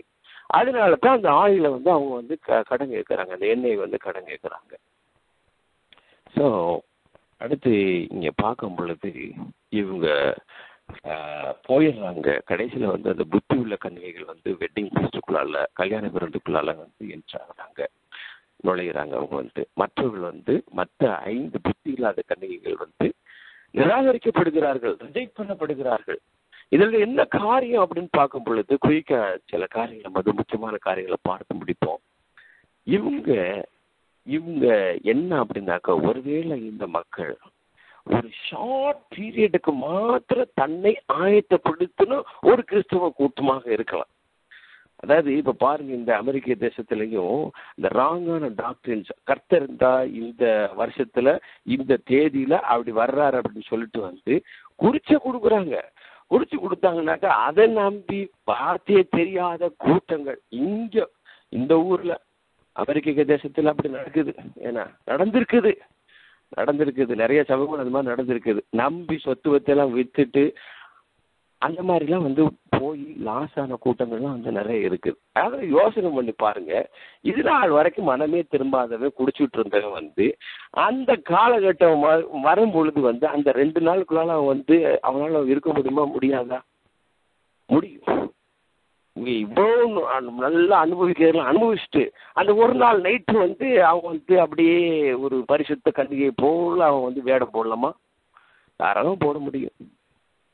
இன்னைக்கு அப்படி அந்த ராங் டாக்டர்னால கள்ள உபதேசங்கள் மூலமாக வஞ்சிக்கப்பட்டு போன கிறிஸ்தவர்கள் அநேகம் ஆயிரமான பேர் இருக்கிறாங்க.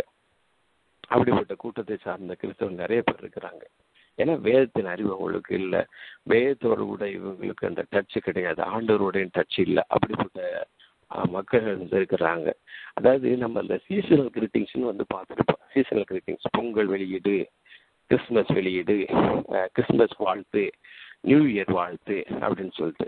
அது மாதிரி பார்த்தீங்கன்னாக்க கிறிஸ்துவ உலகத்தில் சீசனல் கிறிஸ்டியன்ஸ் இருக்கிறாங்க. என்ன சீசனல் கிறிஸ்டியன்ஸ் கிறிஸ்துமஸ் கிறிஸ்துமஸுக்கு மாத்திரம் வரக்கூடிய கிறிஸ்தவர்கள் நியூ இயர்க்கு அப்படி பண்டிகைக்கு மாத்திரம் வரக்கூடிய கிறிஸ்தவர்கள் ஈஸ்டர் டயத்துக்கு மாத்திரம் வரக்கூடிய கிறிஸ்தவர்கள். கொஞ்ச நேரத்துக்கு மாத்திரம் வந்து ஃபெலோஷிப்பில் இருந்துட்டு அப்புறம் வந்து அப்படியே வந்து வழி விலகி போய் ஓடக்கூடிய கிறிஸ்தவர்கள். இருக்கிறாங்களா? இல்லை இன்னைக்கு நம்ம வந்து பார்க்குறோம். பார்த்துக்கிட்டிங்கனாக்க வந்து இந்த மாதிரி ஆட்கள் பார்த்தீங்கன்னாக்க இந்த நாற்பது நாள் வந்து இந்த ஈஸ்டர் வ- வரப்போகுது. அதுக்கு முன்னாடி பார்த்தீங்கன்னாக்க இந்த நாற்பது நாள் லென்த்தன் டேஸ் வரும். லென்த் நாட்கள் அப்படி சொல்லிட்டு வந்து அடாடாடாடாடாடா அந்த கறி உண்மையிலே கறி சாப்பிடாதவன் உண்மையிலேயே வந்து சைவத்தை மாத்திரம் இது நாள் வரைக்கும் பிறந்ததுலேருந்து சாப்பிட்டுட்டு இருக்கவன் கூட வந்து தோத்து போயிடுவான் இவன் பா இவன் அனுசரிக்கிற அந்த முறைகள்லாம் வந்து பார்த்தா. அப்படியே போனா வந்து நான் சொல்றதெல்லாம் கேள்விப்பட்டிருக்கேன். என்னமோ இவருக்கு வந்து அப்படி கறி சாப்பிட்றது ஒரு பெரிய பாவன்ற மாதிரி வந்து பிக்சரைஸ் போடுவார் அவரு. நாற்பது நாள் அதை செய்ய மாட்டேன் இதை செய்ய மாட்டேன் இப்படி போக மாட்டேன் அப்படி போக மாட்டேன்னு சொல்ற ஆளு அந்த நாற்பத்தி ஓராவது நாள் பார்த்தீங்கன்னாக்க எல்லாத்தையும் சேர்த்து ஒத்து ஒத்தமா வந்து பண்ணிட்டு இருப்பான். அதான் அதுக்காக நான் வந்து நாற்பது நாட்கள் நீங்க வந்து தபசு காலத்துல லெந்து நாட்கள் காலத்துல வந்து அதெல்லாம் அனுசரிக்க கூடாதுன்னு சொல்ல வரல. அதை அனுசரிக்கிறதுனால ஒரு மேன்மையும் இல்லை. அனுசரிக்காது போகிறதுனால ஒரு சிறுமையும் கிடையாது. நாற்பது நாள் வந்து பாஸ்டிங்ல வந்து ஆ, வேதத்துல வந்து ஆட்கள் நிறைய இருந்திருக்கிறாங்க. ஏசு கிறிஸ்து நாற்பது நாள் இருந்திருக்கிறாரு. அவர் அவர் எப்படி இருந்தாரு? மோசே வந்து நாற்பது நாள் இருந்தாரு மனுஷன். நாற்பது நாள் வந்து ஒரு தடவை மட்டுமா இருந்தாரு? ரெண்டு விஷயம் நாற்பது நாள் இருக்க வேண்டிய சூழ்நிலை ஆயிடுச்சு. அவர் பண்ண தப்புக்கு. மோசை வந்து ரெண்டு தடவை அந்த மாதிரி நாற்பது நாள் உபவாசம் போட்டார் அவரு. அவங்கெல்லாம் வந்து உபவாசம் போட்டுட்டு எங்க இருந்தாங்க? சுத்திட்டு தெரிஞ்சாங்களா? இன்னைக்கு உபவாசத்தை போட்டுட்டு ஆட்கள் சுத்திட்டு தெரியுது ஜெபம் பண்ணாம சுத்திட்டு தெரியுது ஊர் ஊரா சுத்துது. இந்த ஜெபத்துல இந்த உபவாசத்தை ஆண்டர் கேட்பாரா? இதுல பெருமை வேற பேசிக்குவாங்க நான் வந்து உபவாசத்துல இருக்கோம்ன்றத நாங்க வந்து அப்படி இப்படின்ட்டு. இந்தபடியான உபவாசங்கள் எங்க போவோம்? இது ஆண்டர் ஒரு காலத்தை அங்கீகரிக்கிறது இல்லை. எது தேவனுக்கு வந்து உபவாசம்லாம் வந்து ஆண்டவர் வந்து எழுதி வச்சிருக்கிறாரு. பாருங்க. உபவாசத்தை பண்ணிட்டு வந்து ஆ மோசே எலியா ஏசு கிறிஸ்து இவங்க எல்லாருமே வந்து எங்க இருந்தாங்க? தேவனுடைய பிரசனத்துல வந்து அவங்க கடந்தாங்க அவங்க வந்து. இன்னைக்கு இந்த நாற்பது நாள் உபவாசம்லாம் வந்து எப்படி இப்படி அதாவது வந்து அந்த மாதிரி கிறிஸ்தவர்கள் இருக்கிறாங்க இன்னைக்கு. இல்லாம இல்லை. அவங்க அப்படிப்பட்ட கிறிஸ்தவர்கள் இன்றைக்கு நல்ல கிறிஸ்தவர்கள் கூட கலந்து இருக்கிறார்கள் அதாவது வந்து ஒரு ஃபுல் டெடிகேஷன் கிடையாது. பாதி வந்து கடவுளுக்கு பாதி வந்து உலகத்துக்கு.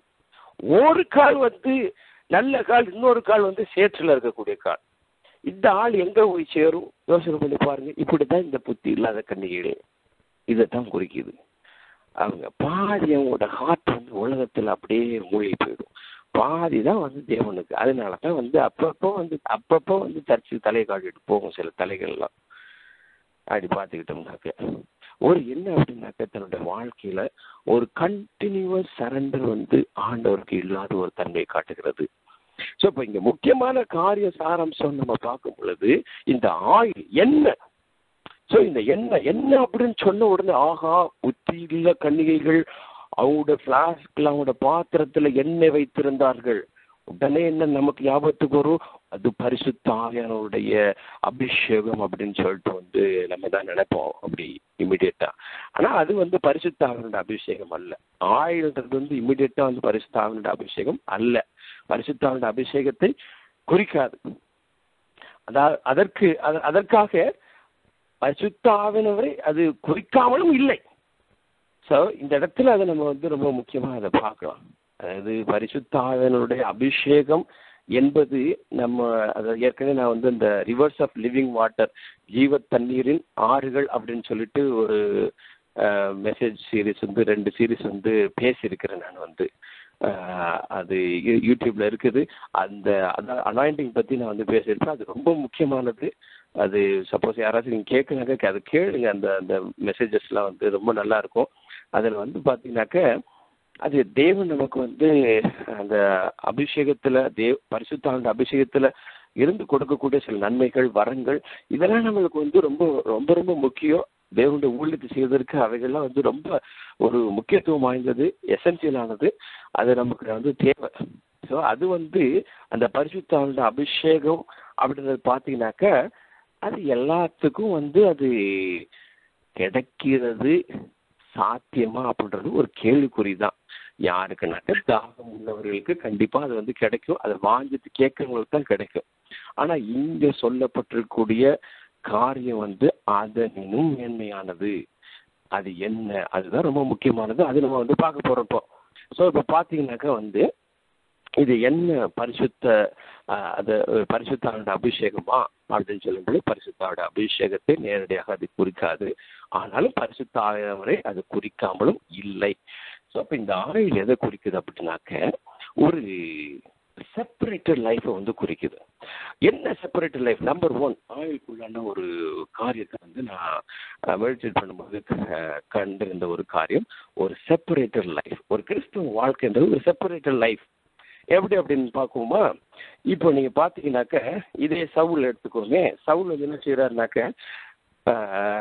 அவங்க அப்பா கீஸோட கழுதை வந்து எங்கேயோ போயிடுச்சுன்னு சொல்லிட்டு காணாமல் போயிடுச்சுன்ட்டு வழியே தேடிட்டு வருவார். அது பார்த்தீங்கன்னாக்க அப்புறம் கடைசியில் வந்து சாமுவேல்கிட்ட வந்து நிப்பாரு சவுல். அப்போ அந்த ஸ்டோரி நமக்கு நல்லா தெரியும். ஒன்று சாமுவேல் பத்தாவது அதிகாரத்தை நீங்கள் எடுத்து வாசித்து பார்த்தீங்கன்னாக்க அந்த ஸ்டோரி அப்படியே இருக்கு. இந்த கதை அப்படி இருக்கும்.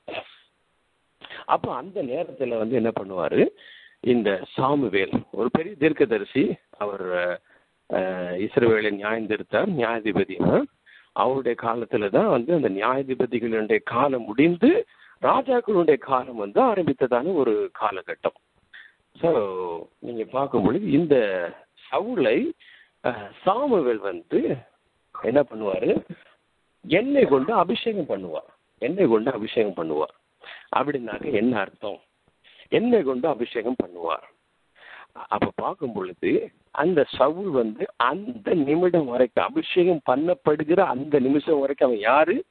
அவன் கீசுடைய குமாரன் ஜஸ்ட் ஒரு சாதாரண ஒரு மனிதன் ஜஸ்ட் ஒரு பெஞ்சமைட். அவ்வளவுதான் ஒரு பெஞ்சமின் கோத்தரத்தான் ஆனா இப்போ ஒரு தீர்க்க தரிசனுடைய அந்த தைலம் அவன் தலையில மேல விழுந்து அவனை ஆசிர்வதிச்சு அவனுக்கு ஜெபம் பண்றாரு. பாஸ்டர் ஜெபம் பண்றாரு. சாமுவேல் வந்து ஜெபம் பண்றாரு. ஜெபம் பண்ண ஒரு பாடு வந்து என்ன ஆயிடுது பாத்தீங்களா? ஜெபம் பண்ணும்போது வந்தா வந்து இப்ப உடனே வந்து அபிஷேகத்துல இருந்த இல்ல இல்ல அப்படிலாம் இல்லை.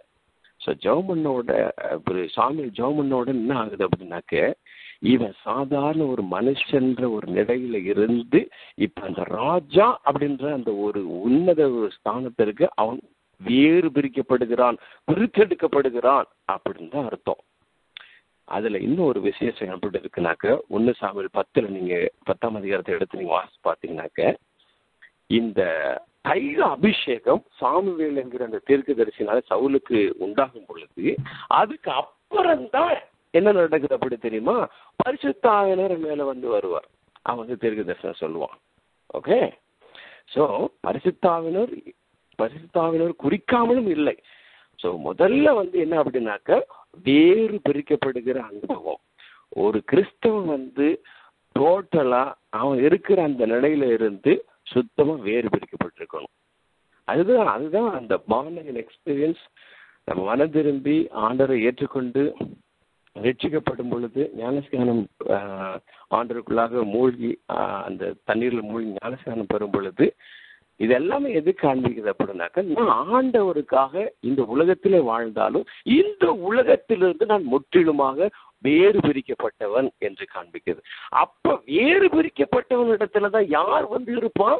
பரிசுத்தாவினர் வந்து வாசம் பண்ணுவார்.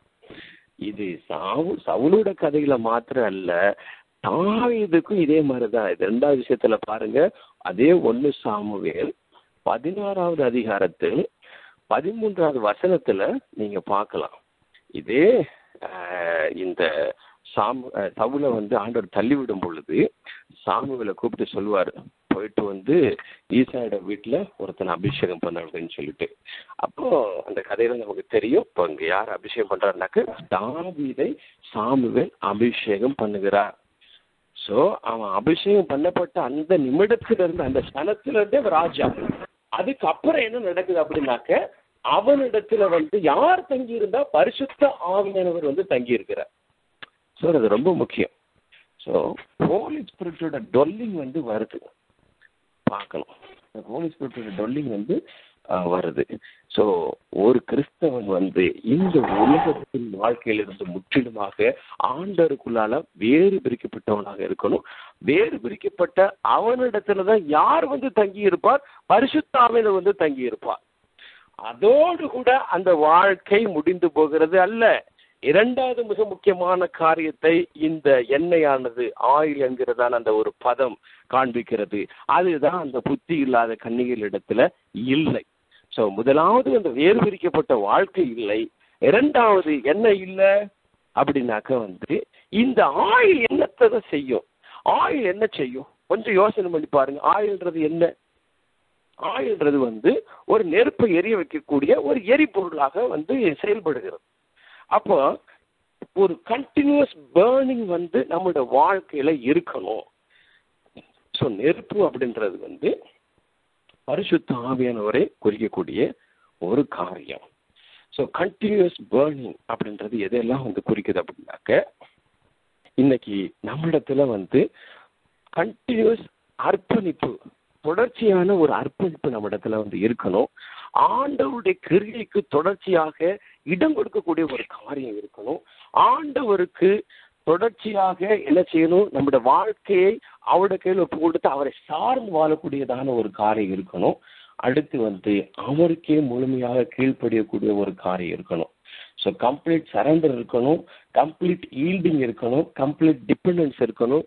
கம்ப்ளீட் ஒபீடியன்ஸ் இருக்கணும். ஒரு கிறிஸ்தவனா வேறு பிரிக்கப்பட்டிருக்கிறையா ஆனால் உன்னிடத்துல பரிசுத்த ஆவினர் இருக்கிறார்.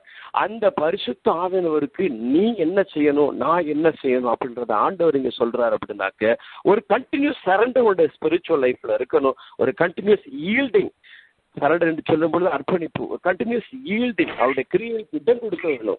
அடுத்து மூன்றாவதாக அவரை நம்பி வாழ்கிறதான அவரை சார்ந்து வாழ்கிறதான ஒரு டிபெண்ட் லைஃப் வந்து வந்து இருக்கணும். நான்காவது மிக முக்கியமான காரியம் அவருக்கு எல்லா விஷயத்திலும் நாம் கீழ்ப்படிந்து நடக்கிறவர்களாக வந்து இருக்க வேண்டும்.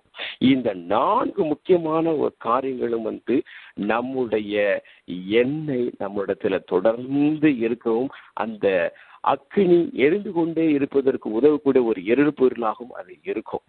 எப்படின்னு பார்த்தீங்கன்னாக்க லேவியர் ஆகமம் ஆறாவது அதிகாரம் பனிரெண்டாவது வசனம் மற்றும் லேவியர் ஆகமம் ஒன்பது இருபத்தி ரெண்டு இருபத்தி நாலு இவைகள் எடுத்து வாசித்து பாருங்கள். லேவியர் ஆகமம் ஆறு பன்னிரெண்டில் அப்படி சொல்லி சொல்லப்பட்டிருக்கிறது. பலிபிடத்தின் மேல் இருக்கிற அக்கினி அபியாமல் இருந்து கொண்டிருக்க வேண்டும். ஆசாரியன் காலை தூரம் அதன் மேல் எறும்படி கட்டைகளை போட்டு அதன் மேல் சர்வாங்க தகன பலியை வரி வரிசையாக வைத்து அதன் மேல் சமாதான பலிகளின் கொழுப்பை போட்டு தகனிக்க கடவன். ஸோ என்ன இருக்கு அப்படின்னாக்க ஒரு பலிபிடத்தில் அக்னி என்ன செய்யணும்? அவிந்து போகாதபடிக்கு எரிந்து கொண்டிருக்க வேண்டும். கண்டினியூஸாக அது எரிஞ்சு கொண்டிருக்கணும். எரிஞ்சு கொண்டிருக்கணும் என்ன செய்யணும்? அதுக்குண்டான எரிபொருள் வந்து சப்ளை ஆகிட்டே இருக்கணும். ஸோ ஆண்டவர் வந்து இன்றைக்கு ஒரு கிறிஸ்தவனுடைய வாழ்க்கையில பரிசுத்தாவின் ஒரு ஒரு கிறிஸ்தவனுடைய வாழ்க்கையில எப்பவுமே என்ன செய்யணும் வந்து செயலாற்றி கொண்டே இருக்கணும். செயலாற்றி கொண்டு இருக்கிறதுக்கு வந்து என்ன கா காரியம் இருக்கணும் அந்த எரிபொருள் எப்பவும் இருந்து கொண்டு இருக்கணும் என்ன எரிபொருள்? அந்த கட்டை தான் எரிபொருள். என்ன கட்டை? உன்னோட சரண்டர் தான் அந்த கட்டை. என்ன கட்டை? உன் அஹ், ஆவினருக்கு நீ ஈல்டு பண்ணக்கூடிய அந்த ஈல்டிங் தான் அந்த எரிபொருளாகிய கட்டைகள். என்ன கட்டை? அந்த பரிசுத்தாவினர் முற்றிலுமாக நம்பி வாழ்ந்து ஒரு டிபெண்டன்ஸ் டிபெண்ட் லைஃபுக்குள்ளாக நம்ம போகிறது தான் நம்மளை ஒப்பு கொடுத்து போகிறது தான் அந்த எரிபொருளாகிய கட்டைகள். அந்த கட்டைகள் என்ன? நம்மளோட வாழ்க்கையில் நம்ம முழுமையாக பரிசுத்தாவுடைய கீழ்ப்படுதலுக்கு ஒப்பு கொடுக்கறது தான் அந்த கட்டைகள் எரிபொருள்கள். ஸோ இது இல்லை அப்படின்னாக்க அங்கே எரிபொருள் சப்ளை இருக்காது அங்க அக்கினி வந்து அணு அணைஞ்சு போயிடும். இன்னைக்கு நம்மளோட வாழ்க்கையை சீர்தூக்கி பார்ப்போம். நம்மளோட வாழ்க்கையில இன்னைக்கு உண்மையான ஒரு சரண்டர் இருக்கா ஆவியானவர் இடத்துல? இன்னைக்கு நம்மளோட வாழ்க்கையில முழுமையான ஒரு ஈல்டிங் இருக்கா பரிசுத்தாவினிட பரிசுத்தாவினிடத்திற்கு? நம்மளோட வாழ்க்கை பரிசுத்தாவினுடைய பரிசுத்தாவினவர் நம்பி அவருடைய வழிகாட்டுதலுக்கு ஏங்கி நிற்கிறதா? அந்த டிபெண்ட் லைஃப் இருக்கிறதா? இல்ல நம்ம உலகத்தை டிபெண்ட் பண்ணியிருக்கோமா? மணியை டிபெண்ட் பண்ணியிருக்கோமா? நம்மளோட ஸ்ட்ரென்த்தை டிபெண்ட் பண்ணியிருக்கோமா? நம்மளோட வெல்த்தை டிபெண்ட் பண்ணியிருக்கோமா? நம்மளோட பரம்பரைகள் டிபெண்ட் பண்ணியிருக்கோமா? நம்மளோட அப்பா டிபெண்ட் பண்ணியிருக்கோமா இனப்பட ஜந்துக்கள் டிபெண்ட் பண்ணியிருக்கிறோமா யார் டிபெண்ட் பண்ணியிருக்கோம் நம்முடைய கல்வியை டிபெண்ட் பண்ணியிருக்கிறோமா எது இன்னைக்கு டிபெண்டன்சியாக இருக்கிறது? நம்ம நம்ம சீர்தூக்கி பார்ப்போம். நம்முடைய ஒபிடன்ஸ் எப்படி இருக்குது இன்னைக்கு இந்த ஆண்டவர் இடத்துல எல்லா காரியத்திலும் இன்னைக்கு நம்ம ஆண்டு இடத்துல நம்ம ஒபி பண்றோமா? ஆண்டவர் சொல்ற எல்லா காரியத்துக்கும் எஸ் சொல்றோமா? இன்னைக்கு ஆண்டவர்கிட்ட ஓடி அவருடைய சித்தத்தை நாடி அந்த ஒபீடியன்ஸுக்குள்ளாக நம்ம வந்து ஒப்பு கொடுக்கக்கூடிய அந்த பழக்கம் நம்ம கிட்டத்தில் இருக்குதா? இதெல்லாம் தான் வந்து ஆண்டவர் இன்னைக்கு எதிர்பார்க்கிறார். இதுதான் என்ன வழிவகுக்கும் அப்படின்னாக்க அந்த தைலம் பிரித்தெடுக்கப்பட்ட வாழ்க்கை நமக்குள்ளால இருக்கும் பொழுது அந்த தைல அபிஷேகன்ற பிரித்தெடுக்கப்பட்ட வாழ்க்கை. அதுக்கப்புறம் பரிசுத்தாவே நம்மளுக்குள்ளால இருக்கிறார். இதை பரிசுத்தாவன் அதோடு முடிச்சு போகக்கூடிய காரியம் அல்ல. இவர் கண்டினியூஸா நமக்குள்ள என்ன ஆகணும்? ஃபில் ஆகிட்டே இருக்கணும். இதுதான் என்ன அப்படின்னாக்க வந்து அந்த ஸ்பிரிட் ஃபில்ட் அனுபவம். இந்த ஸ்பிரிட் ஃபீல்டு அனுபவம் இன்னைக்கு ஒவ்வொரு கிறிஸ்தவனுட்டையும் இருக்கணும். இந்த எந்த கிறிஸ்தவன்கிட்ட இந்த ஸ்பிரிட் ஃபீல்டு அனுபவம் இல்லையோ அவனை கர்த்தர் வந்து கொண்டு போகிறது வந்து கஷ்டம். அவனை கர்த்தர் கொண்டு அவளை கர்த்தர் கொண்டு போகிறது வந்து கஷ்டம். ஸோ இந்த ஸ்பிரிட் ஃபீல்டு அனுபவம் இருக்கணும். அதனால தான் சொன்னேன் ஆரம்பத்தில் ஆவின் அபிஷேகங்கள் ஆவின் அபிஷேகம் ஆவின் வரம் வேற. ஓகே இப்போ இது வந்து ஸ்பிரிட் ஃபீல்டு லைஃப்பை பற்றி நான் பேசிக்கிட்டு இருக்கிறேன். இது அதனை அதனை காட்டிலும் முக்கியம். அதுக்கு நான் அது வேண்டாம் நான் சொல்ல வரல. அதில் முக்கியத்துவம் நம்ம ஏற்கனவே பேசியிருக்கிறோம். ரிவர்ஸ் ஆஃப் லிவிங் வாட்டர் என்கிற தலைப்பில். ஸோ இது அதிலிருந்து மேன்மையான காரியங்கள் நாம் வந்து இப்போ பார்த்துக்கிட்டு இருக்கிறோம் பேசிக்கிட்டு இருக்கிறோம். ஸோ இன்றைக்கு இந்த மேன்மையான காரியங்களுக்கு இந்த ஸ்பிரிட் ஃபீல்டு லைஃபுக்கு நாம் வந்து எப்படி வழிவகுத்திருக்கிறோம். உண்மையாக அந்த ஸ்பிரிட் ஃபீல்டு லைஃப் இன்னைக்கு இருக்குதா? நம்மக்கிட்ட ஃபுல் சரண்டர் இருக்குதா? ஃபுல் ஈல்டிங் இருக்குதா? டிபெண்டன்ஸ் இருக்குதா? ஒபீடியன்ஸ் இருக்குதா? இன்றைக்கு நம்ம வந்து சீர்தூக்கி பார்ப்போம். ஸோ இது இதுதான் நம்ம என்ன செய்யணும் தெரியுமா வந்து நம்மளை ஆயத்தப்படுத்தும். யாருக்கு கத்தோட வரிக்கு ஆயத்தப்படுத்தும்? என்ன ஆயத்தம் ஆயத்தம் ஆயத்தம் ஆயத்தம்னு சொல்லிட்டு இருக்குது. அந்த ப ஐந்து கன்னிகள் புத்தி இல்லாத கன்னிகளுக்கு ஆயத்தம் இல்லை. அதனால அவங்க போகல என்ன ஆயத்தம் ஆயத்தம்னா என்ன? ரெடினஸ்னா என்ன? எதை குறிக்குது? இன்னைக்கு பாருங்க வந்து ஒவ்வொரு நாட்டுக்கும் உள்ள படைகள் பார்த்தீங்கன்னாக்க அவங்க எப்போவுமே வந்து ஆயத்தமா இருப்பாங்க. எதுக்கு? போருக்கு. நம்மளை மாதிரி தூங்குவாங்க நம்மளை மாதிரி சாப்பிடுவாங்க. ஆனால் நீங்கள் நானும் செய்யாத ஒன்றை வந்து டெய்லி எப்போவுமே செஞ்சுக்கிட்டு இருப்பாங்க அந்த ராணுவ வீரர்கள். அவங்க என்னது செஞ்சுட்டு இருப்பாங்க? பயிற்சி. எப்பவுமே பயிற்சி இருக்கும். என்ன பயிற்சி இருக்கும்? யுத்தம் வராத காலத்திலும் அவங்க வந்து யுத்தத்தின் பயிற்சி வந்து மேற்கொண்டே இருப்பார்கள். அதுதான் ஆயத்தம். அந்த பயிற்சின்றது தான் ஆயத்தம். அந்த பயிற்சி ஆயத்தம் வேணும் நம்ம கிட்ட வந்து. நம்மளோட பயிற்சி ஆயத்தம் என்ன? ஒரு கிறிஸ்தவனுக்கு என்ன பயிற்சி? என்ன பயிற்சி வேணும் ஒரு ஒரு கிறிஸ்தவனுக்கு? என்ன ஒரு ஆயத்தம்? ஒரு போருக்கு உண்டான ஆயத்தம் வந்து என்ன? நம்ம முழங்கால முடக்கி ஆண்டோட சமூகத்தில் என்ன செய்யணும்? நம்ம வந்து அங்க ஜெபம் பண்ணணும். முழங்கால் யுத்தம். நம்மளுடைய ஆயத்தம் எல்லாம் என்ன எங்க இருக்குது? நம்மளோட முழங்கால இருக்குது. நம்ம ஆண்டவரோட கம்யூனிகேட் பண்ற கூட இருக்கு. நம்மளோட ஆண்டவரிடத்துல கூட உறவாடுகிற அந்த உறவுல இருக்கிறது. ஸோ இந்த ஸ்பிரிச்சுவல் காரியங்கள் நாம் வந்து முன்னேற முன்னேற ஆண்டவரோட அந்த இன்டிமேட் அந்த ரிலேஷன்ஷிப்பில் நம்ம வளர வளரத்தான் இந்த காரியங்கள் நமக்கு வந்து கைகூடும். இந்த காரியங்கள் அன்றைக்கு அந்த ஐந்து கன்னிகைகள் புத்தி இல்லாத கன்னிகை இடத்துல இல்லை. ஸோ இன்றைக்கு நம்முடைய விளக்கு எரிந்து கொண்டிருக்கிறதா? ஆரம்பத்தில் ஒருவேளை நம்முடைய விளக்கு பயங்கரமா வந்து எரிஞ்சிருந்திருக்கலாம். இன்னைக்கு ஆரம்பத்தில் நம்ம அதிகமா ஜெபம் பண்ணிருந்திருக்கலாம். இன்றைக்கு நம்முடைய ஜெப வாழ்க்கை எப்படி இருக்கிறது? இன்றைக்கு நம்முடைய பரிசுத்த வாழ்க்கை எப்படி இருக்கிறது? ஏன்னா சீக்கிரம் ஆண்டவர் வரப்போகிறார். ஜெபிக்கிறவனுக்கு ஜெபிக்காதவனுக்கு ஒரு வித்தியாசத்தை ஆண்டவர் கொண்டு வர போகிறார் இந்த சீசனல் கிறிஸ்டியனுக்கும் உண்மையான கிறிஸ்டியனுக்கும் ஒரு வித்தியாசத்தை ஆண்டவர் வந்து கொண்டு வர போகிறார் ஹalleluya இன்னைக்கு அந்த ஆயத்தை நம்மிடத்தில் இடத்துல எப்படி இருக்கிறது? ஆண்டோட வருகை நாட்கள் நம்மிடத்தில் நிறைய கொண்டிருக்கிறது. நம்முடைய ஜெப வாழ்க்கை எப்படி இருக்கிறது? நாம உண்மையாக ஆண்டவருக்கு ஒரு ஆசாரியராக ஆண்டவருக்கு ஒரு ராஜாவாக நம்மளால இருக்க முடியுமா? அவர் சொன்ன ஆயத்தை நம்ம இருக்கிறதா? அப்படி இல்லை அப்படின்னாக்கா இன்றைக்கு நம்ம வந்து ஒப்பு கொடுப்போம் ஆண்டவரிடத்துல. ஆண்டவரிடத்துல கேட்போம் ஆண்டவரே நான் ஒரு ஸ்பிரிட் கிறிஸ்டியனா இருக்கணும். சும்மா கிறிஸ்டியனா இருந்தாலும் கதைக்கு ஆகாது. அவனை ஆண்டவர் வந்து கொண்டு போக மாட்டார். அந்த மாதிரியான பெண்மணிகளை வந்து ஆண்டவர் கொண்டு போக மாட்டார். யாரெல்லாம் ஸ்பிரிட் ஃபீல்டு கிறிஸ்டியனோ அது எந்த டினாமினேஷன் இருந்தாலும் கவலை இல்லை. ஆண்டவர் அதை பார்க்க போறது கிடையாது. அவருக்கு மதங்கள் பிடிக்கலாம். ம- ம- மதங்கள் வந்து பிடிக்காத இருக்கலாம். மதங்களை பத்தி ஆண்டவர்லாம் ஆண்டவர் பார்க்கறதே கிடையாது. சரி நம்ம என்ன டினாமினேஷன் இருந்தாலும் பிரச்சனை இல்லை. ஆனா பைபிள் பிரகாரம் நம்ம வந்து என்ன செய்யணும்? இருக்குன்றதான் ஆண்டவர் விரும்புகிறாரு இன்றைக்கு நம்முடைய பை- பைபிள் வந்து அவருடைய வேதத்தின் மகத்துவத்தை நமக்கு எழுதி கொடுத்துக்கிறாரு இதுவரைக்கும் நம்ம பைபிள் வந்து முழுமையாக வாசித்திருக்கிறோமா? அதுக்கு எந்த அளவுக்கு அக்கறை செலுத்திருக்கிறோம் எத்தனையோ புஸ்தகங்கள் நம்ம வந்து வாசிக்கிறதுக்கு வந்து நம்ம ஓடுறோம் லைப்ரரிக்கெல்லாம் ஓடுறோம். ஆனா ஆண்டவர் தன்னுடைய இருதயத்தை வெளிப்படுத்தி அவருடைய நாசின் சுவாசத்தை பிரிண்ட் பண்ணி கொடுத்துருக்கக்கூடிய ஒரு காரியம் இந்த வேதாகமம். அதுக்கு எவ்வளவு முக்கியத்துவம் கொடுத்து எவ்வளவு வாசிச்சு எவ்வளவு தியானிச்சு எவ்வளவு காரியம் ஆண்டவர் அதில் பேசுறாரு. நம்முடைய நம் நம்முடைய யோசனை பண்ணி பாருங்க. நம்ம பேசுறது எழுதி வைக்கிறோமா? மந்த்ல ஒரு மாசத்துக்கு ஒரு வார்த்தையாவது ஆண்டவர் வந்து நம்மள்ட்ட பேசுறாரா? யோசனை பண்ணி பார்க்கணும் நம்ம. ஸோ இன்றைக்கு வந்து ஒரு ஸ்பிரிட் ஃபில்டு லைஃப் ஒரு ஸ்பிரிட் ஃபில்டு கிறிஸ்டியனை நம்ம வந்து மாறணும். ஒருவேளை இதை கேட்டுக்கொண்டிருக்கிறேன் நீங்க. இன்னைக்கு இந்த ஸ்பிரிட் ஃபில்டு அனுபவம்னா எனக்கு என்னன்னே தெரியல. இப்படிப்பட்ட ஒரு வாழ்க்கை நான் வந்து வாழணும்னு விரும்புறேன் அப்படின்னாக்க இன்னைக்கு ஆண்டவரிடத்துல உங்களை ஒப்பு கொடுங்க. வாஞ்சிக்கிறவனுக்கு கர்த்தர் எல்லாவற்றையும் வந்து கொடுத்து ஆசீர்வதிப்பார் நிச்சயமாகவே. ஹalleluya நாம வந்து ஆயத்தமாகும் ஒரு போர்ச்சவனை போல ஆண்ட சமூகத்தில் நாம் வந்து எப்போது நிற்க கற்றுக்கொள்வோம். பயிற்சியோட இருக்கணும் ஒரு கிறிஸ்தவ எப்பவும். அது மறந்துடக்கூடாது. ஸோ ஜெபன்றது பைபிள் ரீடிங்ன்றது மற்ற எல்லான்றது வந்து ஒரு டீஃபால்ட் மெத்தட் இதெல்லாமே வந்து நமக்கு ஒரு கிறிஸ்தவனுக்கு அது ஒருத்தன் சொல்லியோ சொல் சொல் சொல்லி வரக்கூடிய ஒரு காரியம் அல்ல. நம்ம தாழ்த்துவோம் இன்றைக்கு ஆண்டு சமூகத்தில் ஒப்பு கொடுப்போம். இந்த பத்து கன்னிகைகள் ஊமைகளை ஊமையை பற்றி நான் வந்து படிக்கும்படியாக இன்றைக்கு ஆண்டு நமக்கு கிருபி கொடுத்தார். ஆண்டு நம்மோட கூட பேசி இருக்கிறார் நம்முடைய அக்கினி தொடர்ந்து எரிந்து கொண்டே இருக்கணும் பலிபடத்தில் ஸோ நம்ம போ செய்ய வேண்டியதை செஞ்சிடணும். லேவிராக ஒன்பது இருபத்தி ரெண்டு இருபத்தி நாலுல சொல்லப்பட்டிருக்கிறது அந்த தகன பலிக்கு உண்டான காரியங்களை பலிபீடத்தில் அடுக்கின பொழுது அக்கினி எங்கிருந்து எல்லாம் வந்துச்சு? வானத்திலிருந்து வந்துச்சு.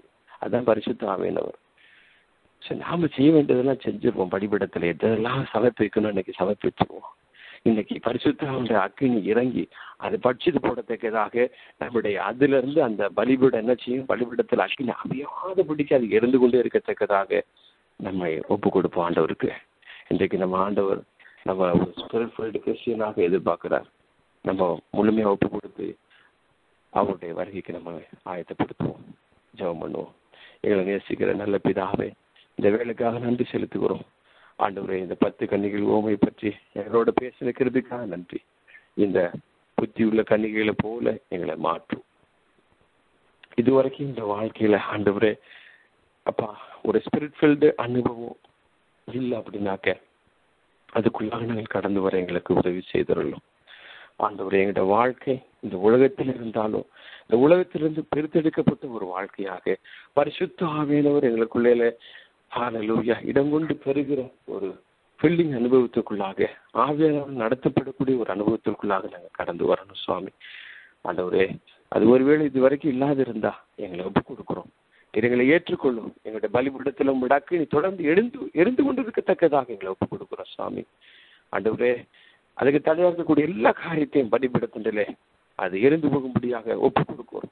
என்னுடைய மேட்டுமைகள் ஆண்டவரே அப்பா உலகத்தை நம்பி இருக்கக்கூடிய காரியங்கள் மணி ஆண்டவரே அப்பா எங்களுடைய பலத்தை எல்லா விதமான காரியத்தை எங்களுடைய ஹெரிட்டேஜை ஆண்டவரே எல்லாவற்றையும் மேன்மைகள் எல்லாவற்றையும் இந்த பலிபீடத்தில் ஒப்பு கொடுக்குறோம் சுவாமி அதெல்லாம் உங்களுடைய அக்கினி பட்சித்து போடும்படியாக நாங்கள் வேண்டிக் கொள்கிறோம் எங்களுடைய வாழ்க்கையில் உங்களுடைய அக்கினி தொடர்ந்து பிரகாசிக்க ஆவியான கிரியை செய்ய எங்களை ஒப்பு கொடுக்குறோம். பெரிய காரியங்களை செய்யுங்க. உங்களுடைய வரைக்கும் நீங்கள் ஆயத்தப்படுத்துங்கப்பா. ஆயத்தப்படுத்துங்க உங்களுடைய நீங்க வரையக்கூடிய நேரமும் நாளையும் தெரியாது. அண்டவரி அப்படிப்பட்ட கள்ள உபதேசங்களுக்கெல்லாம் ஆண்டவரே இதை கேட்க இந்த செய்தி கேட்க ஒவ்வொருத்தரும் விலக்கி காத்து கொள்ளுங்க கர்த்தாவே. ஆண்டவரே சோதரம் எப்போ வருவீங்களோ எங்களுக்கு தெரியாது. ஆனா நீங்க வருவீங்க. அதற்காக நாங்கள் ஆயத்தமாக இருக்கத்தக்கதாக எங்களை ஒப்புக் கொடுக்கிறோம் சுவாமி. அந்த புத்தியுள்ள கண்ணிகளை கன்னிகளை போல் எங்களை ஆயத்தப்படுத்தும். எங்களை ஒப்புக் கொடுக்கிறோம் விட கரத்துல. ஒரு போர்ச்சவனை போல் ஆயத்தப்படுத்தும் ஐயா. ஹalleluya எங்களை தாழ்த்துகிறோம். எங்களுடைய ஜெப வாழ்க்கை முன்னேறட்டும். ஆண்டவரே எங்களுடைய உபவாசம் ஆண்டவரே நாற்பது நாளுக்கு மட்டும் இருக்காதபடிக்கு ஒரு ஆண்டவரே டெய்லி பேசிஸ்ல ஆண்டவரே வாரத்துக்கு ஒரு நாளாவது நாங்கள் உங்களுடைய சமூகத்தில் உபவாசம் இருந்து ஜெபிக்க ஆண்டவர் கிருபி செய்யுங்கப்பா. ஆண்டவரே அப்பா சோதனை கத்தா அந்த சீசனல் வாழ்க்கையில் அகற்றி போட்டு விட்டு உமோடு கூட டெய்லி உறவாட எங்களுக்கு கிருபை செய்தலும் கத்தாவே பெரிய காரியங்களை செய்யுங்கப்பா எங்களை ஆயத்தப்படுத்துங்க மற்றவர்கள் ஆயத்தப்படுத்த கிருபை செய்யுங்க எங்களை பயன்படுத்துங்க இந்த கரங்களை தாழ்த்து ஒப்பு கொடுக்குறோம் இயேசு கிறிஸ்து நாமத்தில் வேண்டிக் கொள்கிறோம் எங்கள் ஜீவனுள்ள நல்ல பிதாவே ஆமென் ஆமென் ஆமென்